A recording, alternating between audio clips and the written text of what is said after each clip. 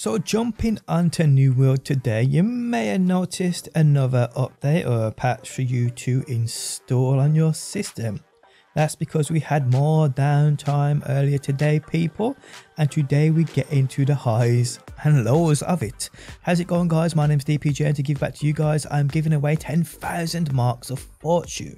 To be in the chance of winning these, make sure you are subbed and have those notifications turned on. Drop a like on the video and leave a comment down below. Last week's winner can be seen on screen now. If this is you, hit me up on my Discord link below.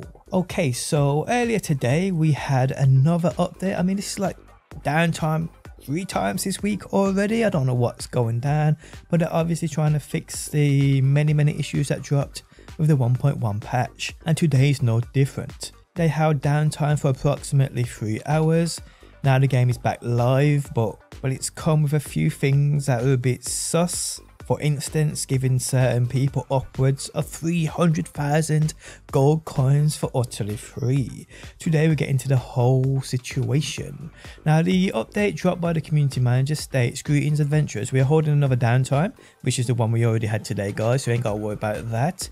Uh, please see the list of fixes below. Fix an issue with the ritual quest causing players to become blocked from completion if their heart gem interruptible is used before defeating Alistair restored the harvester gear set back into the game. Speculative stability fixes, which I can say I definitely feel the game is much less buggy for me now.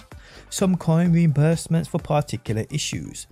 They're going to say coin reimbursements. Given the recent time skipping issues players have been experiencing, we are also rolling out coin reimbursements to companies and players potentially impacted by these issues.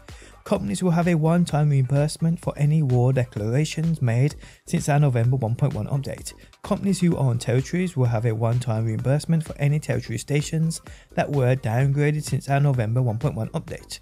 Players will have a one-time reimbursement for housing taxes paid since our November 1.1 update which is wild people because there are reports of many many people which we'll get into in a second randomly getting 100,000 200,000 300,000 400,000 gold coins out of the blue because of this I mean, guys, if you're one of these people and you've had this much, get spending. I mean, it's not your fault if they want to reimburse you 200,000 gold coins. You better get your ass spending.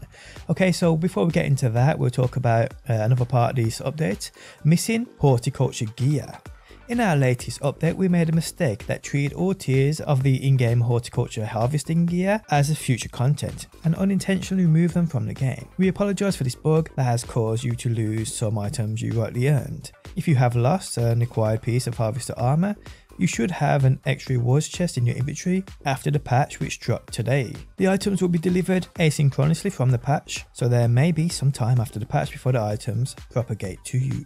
We appreciate your patience through this issue, but rest assured a new set of gear is on its way. These reward chests contain a full set of horticulturist armor provided at the highest tier you personally have acquired in the past for any piece of the harvesting set. They're also rolling out at maximum gear score for that tier and will be usable at any level to ensure you can equip them. These items are marked as bind on equip, like any harvester armor piece you would encounter normally. Once you open a chest, it will provide you five items. Harvester hat, shirt, gloves, pants, and shoes. And that is basically it for the actual, well, patch notes or update notes.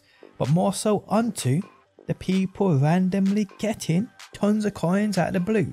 Now I noticed this through a Reddit post and it sent me directly to a uh, official New World forums post, which you'll see on screen now. And you can see there's many, many people here saying that they logged on after the latest update, where people are receiving tons of gold. The initial post says he, a guy in his guild, says he claims he received basically 50,000 gold for no reason. Now if we go down, we'll see there's many, many people here, including the actual editor saying that another friend got 200k. We go down, we see more people saying they received tons of gold after relogging in. Some people 200 plus, some people 300 plus, some people 400 plus.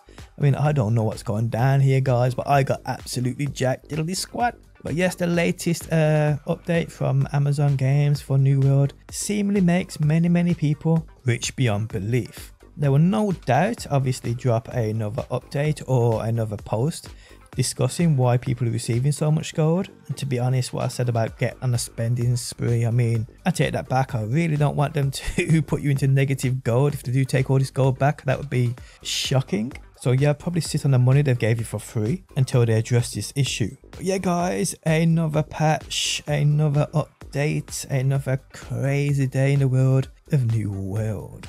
And on that note, the end of the video has arrived. If you have logged back on today to see you've been rewarded tons of gold out of nowhere, let me know how much down below. If you guys enjoyed the video, leaving a like really helps out. If you're new around here and want to see more New World, be sure to subscribe. And if you never want to miss a video I upload, you can turn notifications on by hitting that bell button. But guys, thanks as always for stopping by, and hopefully I will see you on that next one.